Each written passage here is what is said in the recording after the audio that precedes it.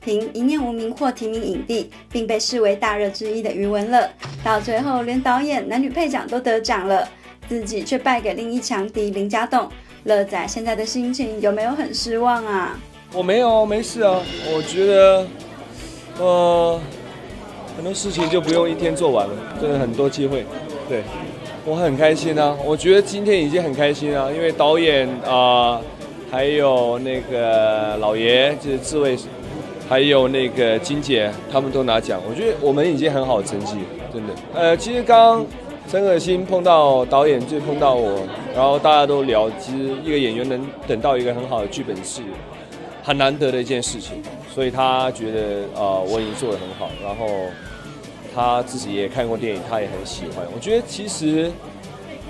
说真的，我说真的，我是觉得电影上了以后，我一直受到很多人的祝福，啊，这就在金像奖之前就已经收到很多人的祝福，所以呃，我觉得证明这个戏是真的是打动到大家的。我觉得其实电影回到最原点就是回回馈给观观众嘛，我觉得观众看了以后感受越深，其实我们就是越开心。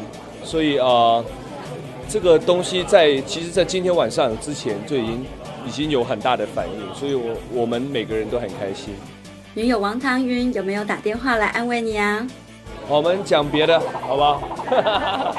乐仔这晚在台上跟春娇、杨千嬅一起颁发最佳女配角时，就提到各提名女星都跟自己有关系，千嬅更差点在台上讲错话，场面非常尴尬哦。其实是搞啊，是搞，是搞，就是搞。这就是，啊，我们有彩排过，对对对。至于新鲜出炉的最佳男配角志伟哥，很可惜不能跟获提名最佳导演的儿子曾国祥一起拿奖啊。不过原来身经百战的志伟哥，在宣布获奖一刻还是会很紧张的。谢谢，很开心，真的很开心。我一开始以为自己不会紧张的，因为。呃，奖也来过，拿过了了，也提名提了那么多次，就一直说盼望，今天如果有机会拿奖的话，就给儿子吧，要不然就是很希望余文乐能够拿。呃，我自己有机会当然是希望，但是没有欲望大到那个程度，而且拿不拿不是一个很严重的问题。但是到快要宣布的时候，把提名名单就讲出来，我一看，哇，秦佩呀！那个廖启智啊，还有这个吴孟达，这些都是最厉害的了。对手原来那么强，还有一个现在在香港年轻里面比较戏比较多的那个张浩文，他们都是演戏很好的，就就觉得哎呦，原来我是会输的。我一直觉得这次这个戏我演的很不错，一直对自己挺有把握的。但是，一看完提名名单，开始嘣嘣嘣嘣，心就在跳了。所以后来一宣布是我的时候，哇，真的是很兴奋，很兴奋，很开心。更何况女儿刚刚特地从台湾过来，我右边坐坐着女儿，左边坐着儿子。